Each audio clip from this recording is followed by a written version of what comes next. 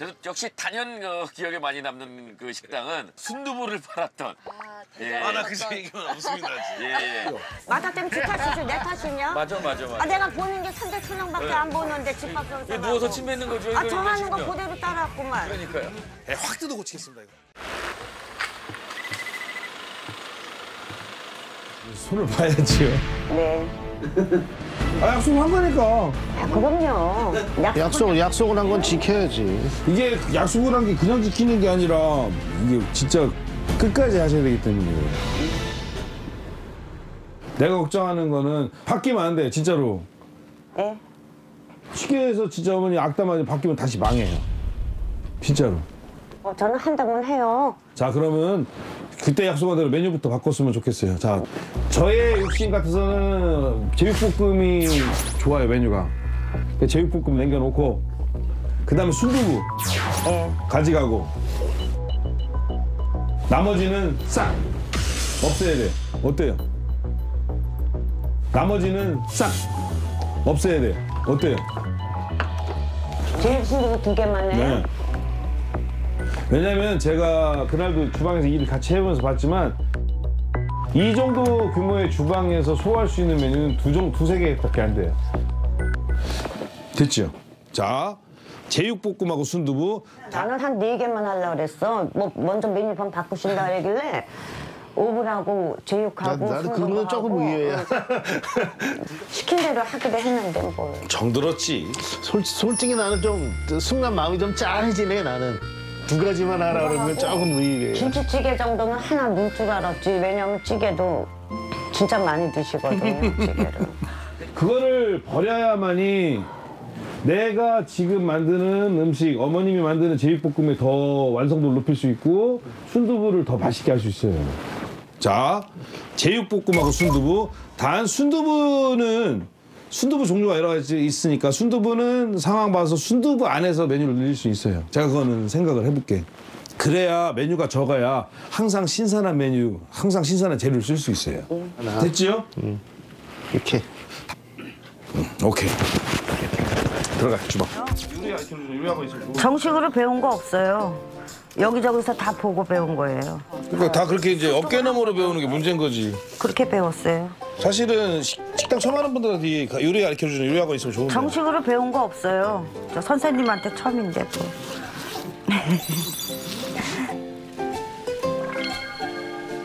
그다음 양파부터 그럼 꺼내갖고 한번 썰어보세요. 네, 잘게 잘게. 에이, 어떻게 쓰 이럴 줄 알았어. 잘게 잘게라는 걸 잘 보셔야지. 이거는 양념장으로 쓸 거니까 더잘 더 잘게 잘게 다, 다 잘게 이렇게 아예 이렇게 보아요.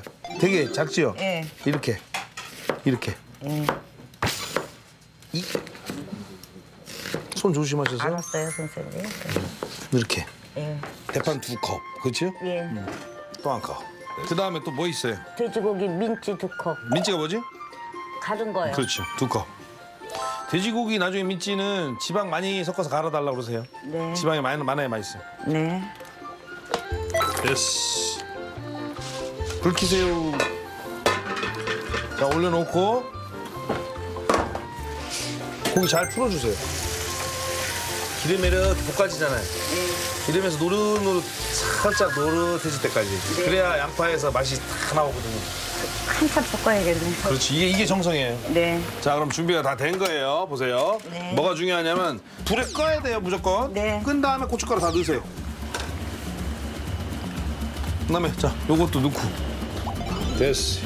자 이렇게 해서 이걸 두시고 쓰시면 돼. 이렇게 해갖고 완성. 이게 순두부 양념장이에요. 아주 시킨 대로 할게요.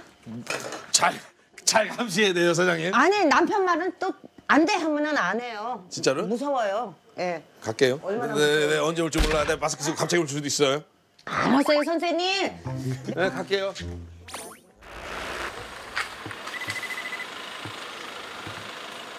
본인도 충분히 인정하고 납득까지 하고 그러고 정리가 끝난 건데 네네네. 끝난 건데 끝난 끝난 건데 예. 점점점 끝난 건데 아 문제는 이제 그 저희가 사실 아 들려오는 소문이 이게 썩 유쾌하지 않은 소문들이 어 들려와가지고 아, 속사정이 있습니다. 석사장이 좀 있는 것 같아요. 저희가 잘 알지 못하는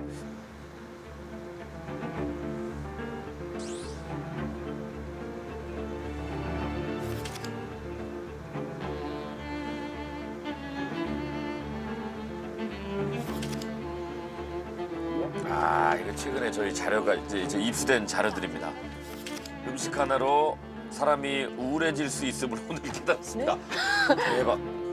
홀 이모님이 방송 때는 없던 새로운 메뉴 김치찌개 바로 맛없다고 말하는 솔직한 손님. 아 이거 이- 이거 아닌데 이렇지 않았는데.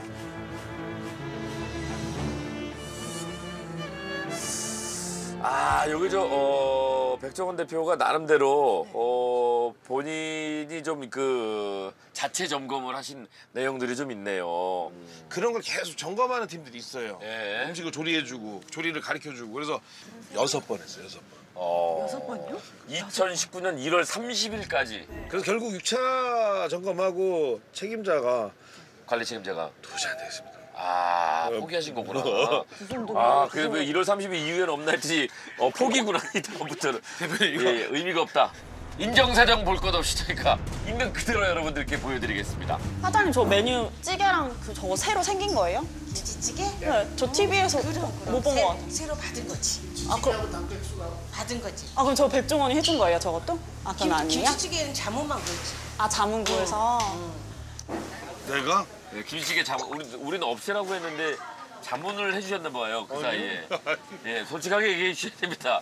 아마 유튜브 보신 것 같은데. 아, 그, 아 그것도 자문에 해당되는 거구나. 그럴 수도 있네. 예. 내가 유튜브에 김치찌개하고 백숙을 올린 적은 있습니다. 예, 예. 설마. 그리고 저 백종원 레시피가 저 또 인터넷에 이렇게 돌아다니거든요 또. 예. 그걸 자문으로 생각하시나? 그 저거 세 개가 해준 거죠? 아니야 세 개. 응. 아, 제육볶음 순두부 카레. 그럼 우리 저거 먹자.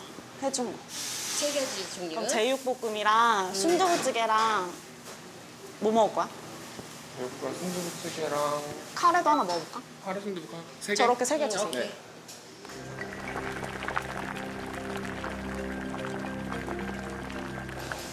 이거 먹어봐요.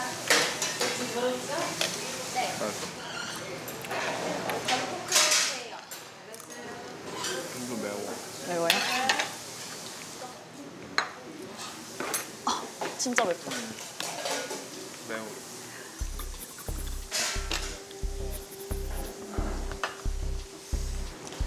자 하나. 감사합니다. 감사합니다. 맛있게 잡수세요. 네. 이건 미리 볶아놓은 거 푼 건데? 볶아놓은 거 데운 거 같은데? 아 미리 볶아놓은 거를 고기는 원래 좀 볶아놓으라고 했어. 뭐 볶아놓은 거를 채소를 센거 넣고 그때 다 불맛 주게 원래 가르쳐 드렸거든요. 예. 근데 이거는 딱 보면 한꺼번에 해놓은 거 지금 다시 볶아놓은 거 같아. 느낌이. 숨이 너무 죽었잖아요. 어. 백대기 음식 많이 안 먹어봤죠? 네? 백대기 음식 많이 안 먹어봤죠? 네. 왜요? 백종 대표 음식들이 맛이 다 강해. 제가 좀 자극적인 거 잘 못 먹어가지고. 약간 짜고 약간 달고 그렇게 호불호가 여기 나왔다고 해가지고. 아 원래 지금 원래 알려진 거 가지고 이제 훨씬 더 맛있어졌지. 이제 계속 이제 할머니들 너더 연구하셔가지고. 와 어떻게 하면 좋아? 아하. 저거는 뭐 아이고 참 괜히 왔나 봐요. 예, 그냥 그냥 차 돌릴까요, 아니요, 괜찮습니다. 대표님? 아. 할 때마다 무서워요. 화를 내주세요. 웃지 마시고요. 이런 일이 뭐 하루 이틀인가요? 네, 일단은 뭐 어, 가기를 위해서 참을 인자를 좀 쓰셔야 될 것 같습니다.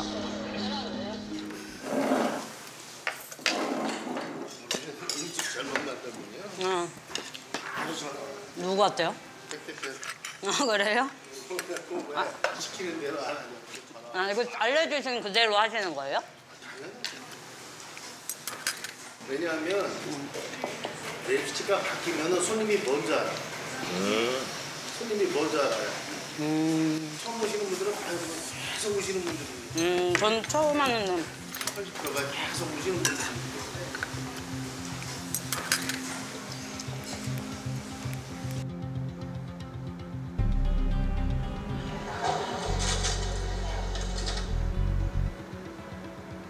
일주한테 제육볶음 하나 하고 순두부찌개 하나 하나씩 하나씩 하나씩 포장 좀 해오라고 그래. 예, 포장이 되니까 그죠? 포장됩니다라고 써 있으니까.